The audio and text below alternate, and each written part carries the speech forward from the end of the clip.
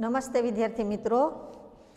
આપણે જોઈએ છીએ કે જળ સંકટની સમસ્યા ભારતમાં દિવસે દિવસે ગંભીર બનતી જાય છે અથવા જળ સંકટની સમસ્યા એના વિશેની માહિતી આપો. તો જળ એ જીવન માટે જરૂરી છે અને જળ એ કુદરત થકી મળેલી અમૂલ્ય ભેટ છે. પણ અગાઉ આપણે જોઈ ગયા કે છતાં પણ આજે જે જળ સંકટની સમસ્યા જોવા મળે છે, તો જળ સંકટની સમસ્યા માટે બે કારણ છે. એક ભૌગોલિક અને માનવ સર્જિત. ભૌગોલિક કારણની અંદર આપણે પહેલું કારણ વરસાદ છે કે આજે જે જગ્યાએ વરસાદ ઓછો પડે, એ જગ્યાએ પાણીની અછત જોવા મળે છે અને એના કારણે આ જળ સંકટની સમસ્યા જોવા મળે છે. તો આપણે જોઈ ગયા કે ભારતની અંદર પશ્ચિમ રાજસ્થાન ત્યારબાદ દક્ષિણ ભારતમાં જે ઉચ્ચ પ્રદેશ આવેલો છે, તો એ ઉચ્ચ પ્રદેશનો જે આંતરિક ભાગ છે, ત્યાં વરસાદ ઓછો પડે છે, તો એના કારણે ત્યાં જળ સંકટની સમસ્યા જોવા મળે છે. અને ત્યાર પછી આવશે માનવ સર્જિત કારણો. તો માનવ સર્જિત કારણમાં આપણે જોઈએ કે આજે કેટલાક એવા કારણો છે કે જેના કારણે છે પાણીની સમસ્યા જોવા મળે છે, તો એની અંદર સતત વસ્તી વધારો. સતત વસ્તી વધવાને કારણે પાણીની જરૂરિયાત વધતી જાય છે, પાણીની જે માંગ છે એ પણ વધતી જાય છે, તો એના કારણે છે પાણીની અછત ઊભી થાય છે. તે સિવાય આજે અનાજ અને રોકડિયા પાકોની માંગ. હવે અનાજ અને રોકડિયા પાક એમાં કેટલાક પાક એવા છે, ડાંગર, શણ જેવા અમુક પાક એવા છે કે જેમાં વધુ પ્રમાણમાં પાણીની જરૂરિયાત રહે છે. એટલે આવા અનાજ અને રોકડિયા પાકોના ઉત્પાદનમાં પાણી છે એ વધુ પ્રમાણમાં વપરાય છે, તો એના કારણે પણ પાણીની અછત થાય છે. ત્યાર પછી આજે ઉદ્યોગોની અંદર પણ પાણી પુષ્કળ પ્રમાણમાં છે એ વપરાવા લાગ્યું છે. એવી જ રીતે શહેરીકરણ શહેરોનું પ્રમાણ, મોટા મોટા જે શહેરો છે, એનું પ્રમાણ પણ આજે એટલા બધા પ્રમાણમાં વધવા માંડ્યું છે કે એના કારણે પણ પાણીનો વપરાશ છે વધવા માંડ્યો છે. એટલું જ નહીં, પરંતુ પહેલાં જે સાદગી પૂર્વકનું જે જીવન ધોરણ જીવતા, ત્યારે ઓછા પાણીએ છે, લોકો ઓછા પાણીનો છે ઉપયોગ કરતા. પાણીનો કરકસરપૂર્વક ઉપયોગ કરતા. પરંતુ આજે ઊંચા જીવન ધોરણને કારણે આજે પાણીનો જે વપરાશ છે એ પણ દિવસે દિવસે વધવા માંડ્યો છે, તો એના કારણે આજે પાણીની અછત જોવા મળે છે. તો વિદ્યાર્થી મિત્રો, આ પ્રશ્ન પણ આવી જ શકે કે શા માટે આજે પાણીની અછત જોવા મળે છે? તો વસ્તી વધારો, અનાજ અને રોકડિયા પાકો એની વધતી જતી માંગ, શહેરીકરણ ઊંચું ઊંચું જીવન ધોરણ તો એના કારણે છે પાણીની અછત જોવા મળે છે. અને આજે પાણીનો જે વપરાશ છે એ એટલા બધા પ્રમાણમાં છે, વધવા માંડ્યો છે, એટલું જ નહીં, પરંતુ આજે જે પ્રમાણમાં શુદ્ધ પાણી કે ગુણવત્તાવાળું જે પાણી મળવું જોઈએ એ પણ પૂરતા પ્રમાણમાં મળતું નથી. અને આજે છે તે પાણીની માંગ અને પાણીના પુરવઠા એ બંને વચ્ચે પણ અંતર વધતું જાય છે. એટલે જે પ્રમાણમાં પાણીની માંગ છે, એ પ્રમાણમાં, જે પ્રમાણમાં પુરવઠો હોવો જોઈએ, એ હોતો નથી. તો એના કારણે પણ એ માનવ કલ્યાણ ઉપર અસર થાય છે, આર્થિક વિકાસ ઉપર પણ, આવી રીતે અને માનવીના જીવન ઉપર પણ એની છે એ અસર જોવા મળે છે. તો એ જળ સંકટને, જળ સંકટ એ આ કારણોને કારણે જોવા મળે છે. હવે આપણે પેય જળ એટલે પીવા માટેનું પાણી, પેય જળની પ્રાપ્યતા અને એની જે શુદ્ધતા છે, એ મૂળભૂત જરૂરિયાત છે. એટલે પીવાનું પાણી આપણને જે પ્રાપ્ત થાય છે અને સાથે સાથે શુદ્ધ અને જે ગુણવત્તાવાળું જે પ્રાણી પ્રાપ્ત થાય, તો એ આપણી જરૂરિયાત છે. પરંતુ આજે આવું જે શુદ્ધ પાણી છે, એ પાણીની ગુણવત્તા ઘટી છે. માંગ અને પુરવઠા વચ્ચે અંતર છે એ વધ્યું છે. અને આજે તે સરકાર છે, એ લોકોને શુદ્ધ પાણી મળે એ માટે ઘણા બધા પ્રયત્નો કરે છે. છતાં પણ આજે ગ્રામીણ વિસ્તારના આઠ ટકા શહેરોની અંદર પાણીની અછત જોવા મળે છે. ગુણવત્તાવાળું પાણી એ પ્રાપ્ત થતું નથી. અને પચાસ ટકા જે ગામડા છે, તો એ ગામડામાં પણ હજુ પણ પાણીની છે, એ અછત જોવા મળે છે. એટલે આ બીજું કારણ આવશે કે આજે જળ સંકટની જે સમસ્યા છે, એટલે પાણી હોય, પરંતુ શુદ્ધ પાણી આપણને પ્રાપ્ત ન થાય, તો એ પાણીનો આપણે ઉપયોગ કરી શકતા નથી. એટલે ટૂંકમાં પાણીની જે ગુણવત્તા છે, એ આજે ઘટી છે. ત્રીજી બાબત આવશે કે આજે ખેતીની અંદર જે પાણીનો સિંચાઈમાં જે ઉપયોગ કરવામાં આવે છે, તો એ સિંચાઈમાં વધારો થયો છે. છતાં પણ આજે આપણા દેશની અંદર બે તૃતીયાંશ છે ખેતી એ વરસાદ ઉપર આધારિત છે. બે તૃતીયાંશ ખેતી હજુ પણ વરસાદ ઉપર આધાર રાખે છે. બાકી આપણે ખેતીની અંદર એ સિંચાઈનો ઉપયોગ કરીએ છીએ. તો સિંચાઈ માટે, પાણી મેળવવા માટે કૂવા અને ટ્યુબવેલનો જે ઉપયોગ કરવામાં આવે છે, તો આ કૂવા અને ટ્યુબવેલમાં ભૂમિગત જળ જમીનની અંદર રહેલું જે પાણી એનો ઉપયોગ કરે છે. તો સિંચાઈ માટે કૂવા અને ટ્યુબવેલનો જે ઉપયોગ થાય છે, તો એમાં ભૂમિગત જળ એનો વપરાશ વધે છે. એટલે ભૂમિગત જળ જથ્થો છે, એનું જે પ્રમાણ આજે છે એ ઘટવા માંડ્યું છે. એટલે સિંચાઈનો, સિંચાઈમાં વધારો થયો છે. સિંચાઈ છે કૂવા અને ટ્યુબવેલ દ્વારા કરવામાં આવે છે અને કૂવા અને ટ્યુબવેલ દ્વારા આ ભૂમિગત જળ જથ્થાનો જે ઉપયોગ થતો જાય છે, તો એના કારણે એનું પ્રમાણ છે એ ઘટતું જાય છે.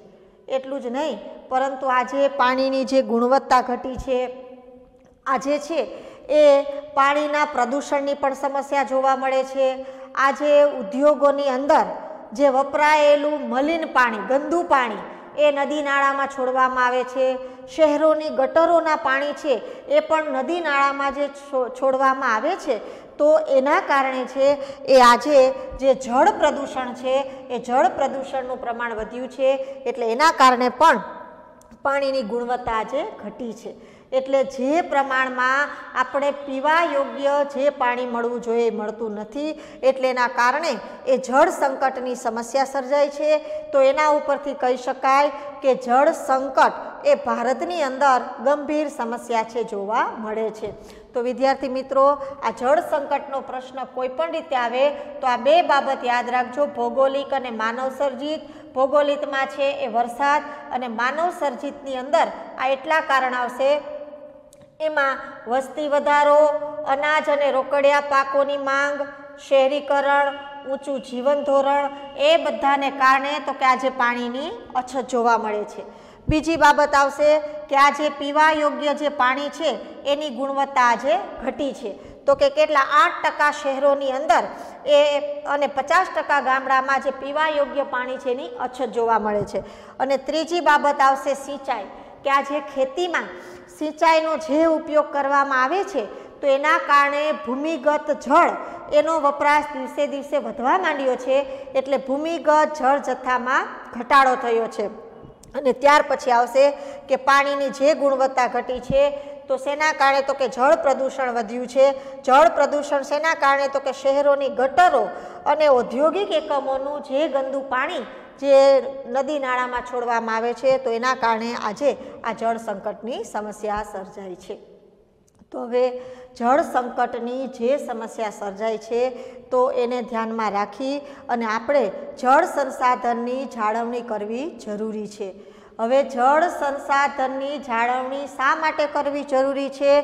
તો કે અત્યારે આપણે જે જળ સ્ત્રોતો છે, કે ઉપલબ્ધ જળ છે, એ કેવું છે? તો કે મર્યાદિત છે. ત્યાર પછી એનું વિતરણ તો કે અસમાન છે. એટલે દરેક રાજ્યમાં, દરેક રાજ્યના વિસ્તારોમાં બધાને એક સરખા પ્રમાણમાં પાણી છે એ પ્રાપ્ત થતું નથી. તો એનું વિતરણ છે અસમાન છે અને ત્રીજી બાબત આવશે કે આજે પ્રદૂષણની સમસ્યા છે. તો આ ત્રણ બાબતને ધ્યાનમાં રાખી અને આપણે જળ સંસાધનોની જાળવણી કરવી જરૂરી છે. અને જળ સંસાધન એ આપણા એકલા માનવ સૃષ્ટિ માટે નથી, પરંતુ જળ સંસાધનનો સંબંધ છે, એ સમગ્ર જીવસૃષ્ટિ સાથે રહેલો છે. અને એટલે જ જળ સંસાધનોની જાળવણી કરવી જરૂરી છે. અને જળ સંસાધનની જાળવણી જ એ જળ સંરક્ષણ તરીકે ઓળખવામાં આવે છે. તો આ તમારે વિધાન તરીકે યાદ રાખજો કે જળ સંસાધનની જાળવણી એ જળ સંરક્ષણ તરીકે ઓળખવામાં આવે છે. તો જળ સંરક્ષણ માટેના આપણે ઉપાયો જોવાના છે કે જળ સંરક્ષણ માટે કયા કયા ઉપાયો હાથ ધરવા જોઈએ. તો જળ સંરક્ષણ માટે પહેલી જ બાબત આવશે કે જળ સંસાધન એનો જેમ બને તેમ વિવેકપૂર્ણ ઉપયોગ કરવો જરૂરી છે. જો વિવેકપૂર્ણ અને કરકસરપૂર્વક જો ઉપયોગ કરશું, તો જ આપણે જળ સંસાધન છે તેની જાળવણી કરી શકીશું. બીજી બાબત આવશે, તે જેમ બને તેમ જળ સંચયન. જળ સંચયન એટલે પાણીનો સંગ્રહ કરવો. તો જળ સંચયન માટે કઈ કઈ બાબત ધ્યાનમાં રાખવી જરૂરી છે? તો પહેલી બાબત કે જળ સંચયન માટે, પાણીના સંગ્રહ માટે જેમ બને તેમ વધુને વધુ જળાશયો બનાવવા. વધુને વધુ જળાશયોના નિર્માણ કરવા. એ સરોવર હોય, કૂવા હોય, તળાવો હોય, તો એ જળાશયોનું નિર્માણ કરશું, તો જ આપણે છે પાણીનો સંગ્રહ કરી શકીશું. એટલે જેમ બને તેમ વધુને વધુ જળાશયો બનાવવા. ત્યાર પછી કોઈ પણ મોટી નદી હોય, એ મોટી નદીમાં ગમે એટલું પાણી આવતું હોય, પરંતુ આખરે મોટી નદી છે, એનું પાણી ચોમાસાના સમયગાળા દરમિયાન નિરર્થક રીતે વહી અને સાગર મહાસાગરમાં ચાલ્યું જતું હોય છે. અને કેટલીક જે હંગામી નદી હોય છે, આ હંગામી નદીમાં ચોમાસા સિવાયના સમયગાળામાં કા પાણી સુકાઈ જતું હોય છે અને કા છે એ ઓછું થતું જતું હોય છે. તો આવું ન થાય. તો એ માટે કોઈ પણ એક મોટી નદી હોય, એ મોટી નદી બેસીનનું પાણી છે.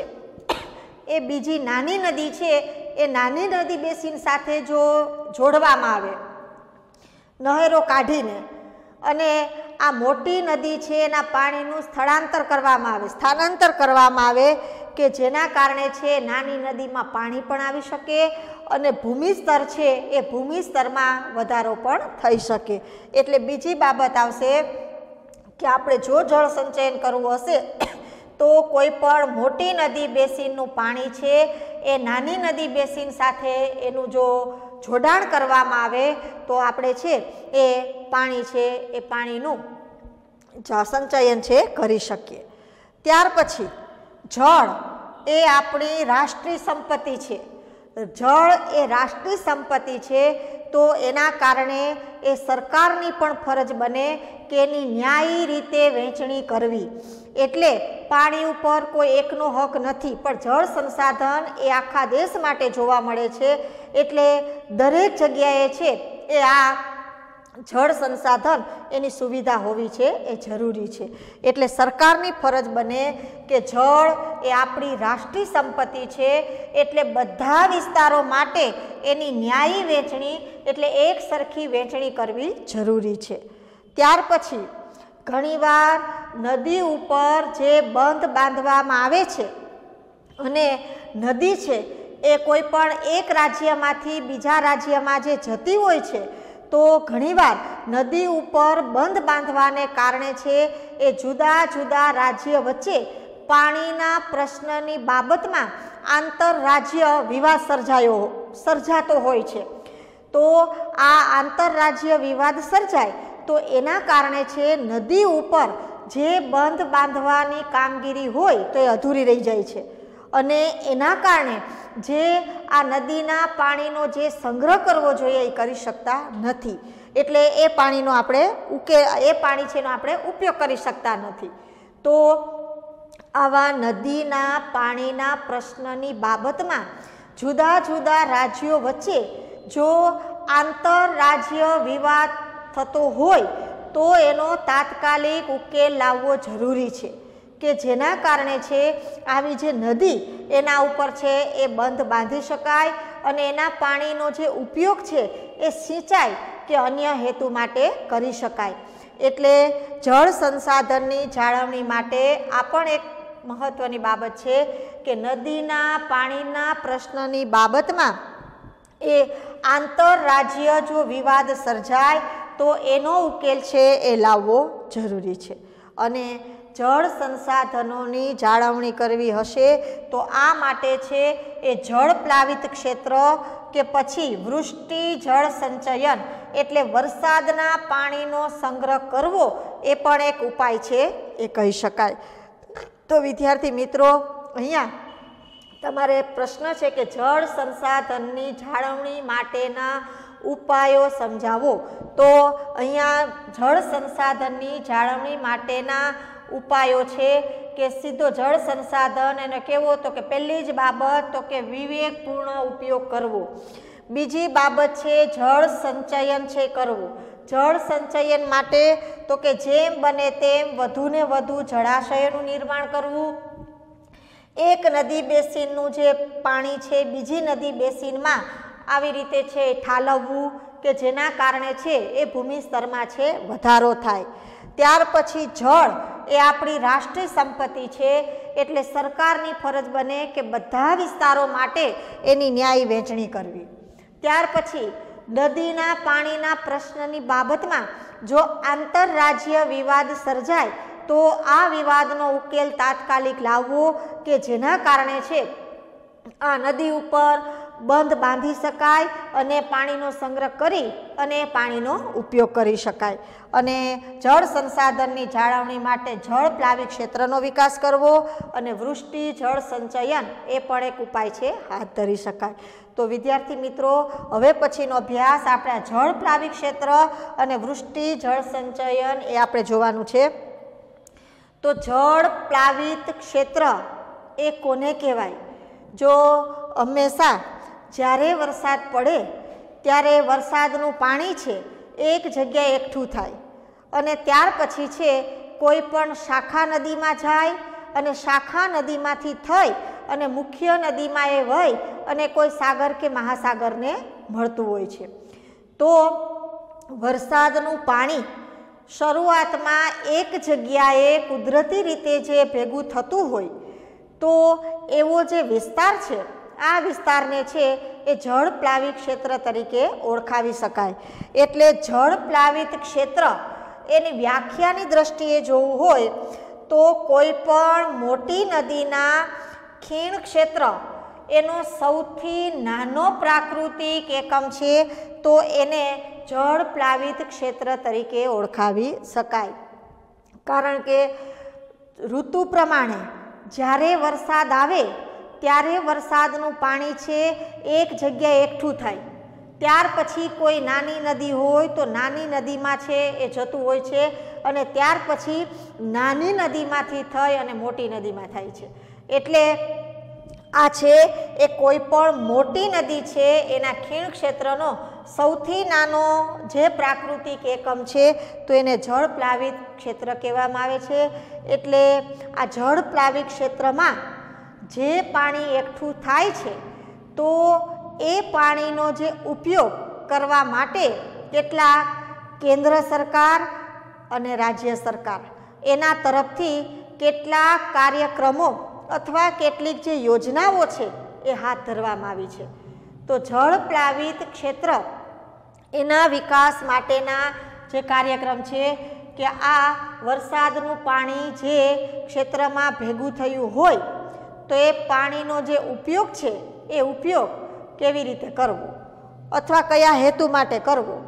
તો જળ પ્લાવી ક્ષેત્રની અંદર જે પાણીનો, પાણી એકઠું થયેલું હોય, તો એના ઉપયોગ, તો કે જમીનનું સંરક્ષણ કરી શકાય અને ભેજનું સંરક્ષણ કરી શકાય.